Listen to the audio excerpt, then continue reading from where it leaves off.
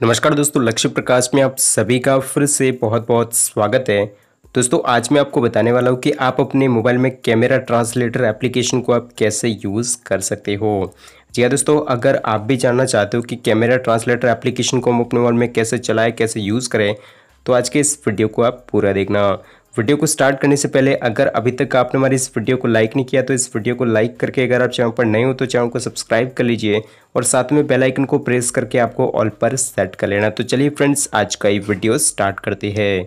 तो सबसे पहले गाइस आपको प्ले स्टोर से कैमरा ट्रांसलेटर एप्लीकेशन को डाउनलोड कर लेना है।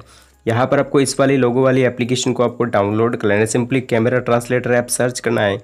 और इस वाली ऐप को आपको डाउनलोड कर लेना है। यहाँ पर one lakh plus downloading complete है और यहाँ पर ये जो है, अभी भी न्यू एप्लीकेशन तो आप सर्च करोगे तो यहाँ पर आपको चार से पाँच नंबर पर आपको ये एप्लीकेशन देखने को मिल जाएगी। तो इस एप्लीकेशन को डाउनलोड करने के बाद सिंपली आपको इस एप्लीकेशन को ओपन करना है। जैसे गए जिस एप्लीकेशन को ओपन करोगे, इसके बाद इस एप्लीकेशन को कम्प्लीटली लोड होने देना है। इसके बाद गाइस ओपन होने के बाद इस एप्लीकेशन का कुछ इस तरीके से आपके सामने इंटरफेस आ जाएगा। और यहाँ पर कुछ ऐड आएगी तो सिंपली आपको ऐड को क्लोज कर लेना है। गाइज़ ये जो एक ट्रांसलेट एप्लीकेशन है, इस एप्लीकेशन की मदद से आप जो अगर आपके पास कोई डॉक्यूमेंट है, कोई इमेज है, उससे अगर आप ट्रांसलेशन करना चाहते हो तो यहाँ पर ओसीआर ऑप्शन पर क्लिक करने के बाद दोस्तों, यहाँ पर आपकी मोबाइल का कैमरा ओपन हो जाएगा।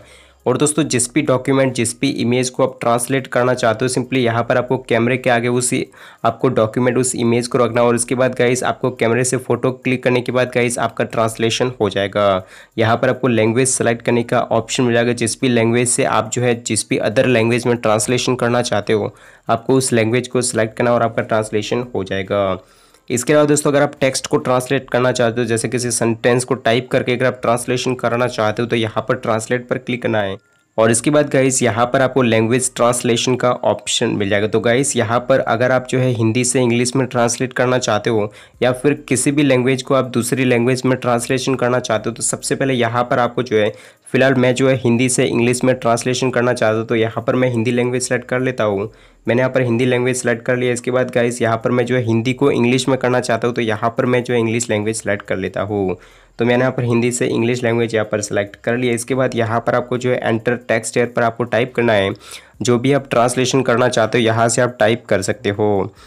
तो यहाँ पर मैं जो है हिंदी में यहाँ पर टाइप कर लेता हूँ। जो भी ट्रांसलेशन करना चाहते हो, यहाँ से आप टाइप कर सकते हो। तो फ़िलहाल गाइज़ में यहाँ पर आप कैसे हो मैंने टाइप करा इस और इसके बाद गाइज़ आपको नीचे की ओर ट्रांसलेट का ऑप्शन मिल जाएगा तो आपको सिंपली ट्रांसलेट पर क्लिक करना और यहाँ पर कुछ ऐड आएगी तो यहाँ से ऊपर से ऐड को आपको जो है क्लोज कर लेना है। तो गाइज़ यहाँ पर आप देख सकते हो ट्रांसलेशन यहाँ पर हो चुका है और यहाँ से कॉपी पर क्लिक करके इसको आप यहाँ से कॉपी भी कर सकते हो। तो गाइस कुछ इस तरीके से आप अपने मोबाइल में यहाँ पर कैमरा ट्रांसलेटर एप्लीकेशन को यूज़ करके आप जो है किसी सेंटेंस को जो है किसी भी अदर लैंग्वेज में आप ट्रांसलेट कर सकते हो। इस एप्लीकेशन में आपको हंड्रेड प्लस लैंग्वेजेस देखने को मिल जाती है। इसके अलावा दोस्तों, किसी डॉक्यूमेंट किसी इमेज को आप जो है स्कैन करके भी उसे ट्रांसलेट कर सकते हो। तो गाइस कैसा लगा ये वीडियो में कमेंट करके ज़रूर बताना तो अगर आपको वीडियो अच्छा लगा हो तो इस वीडियो को लाइक करें शेयर करें। और अभी तक आपने हमारे चैनल को सब्सक्राइब नहीं किया तो चैनल को सब्सक्राइब करके बेल आइकन को ज़रूर से प्रेस कर देना।